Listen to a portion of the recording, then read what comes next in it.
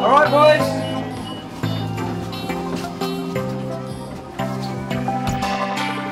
So the idea, the extreme cold, is supposed to help flush out the lactic acid.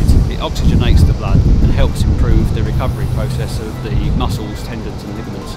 We said it, uh, it was optional, but we, we asked them all to at least give it a go, and every single player's uh, used it and actually liked it as well. A few of the lads have used it at previous clubs and uh, were very keen to use it again, and the lads who hadn't used it before uh, well, yeah, we're, we're pleased with it. And, and you always feel like an instant benefit when you come out of it. You do feel very, very fresh.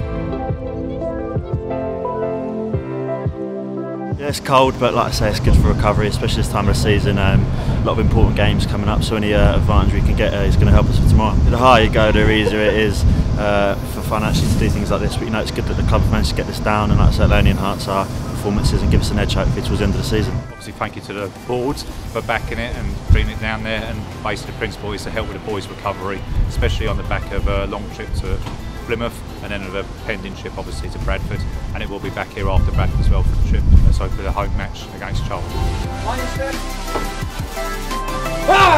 There are only two mobile uh, chambers in the country like this, which is whole body cryotherapy. There are quite uh, quite a few uh, smaller companies that are setting up cryopods, which is where your head pops out the top, but um, they don't have quite the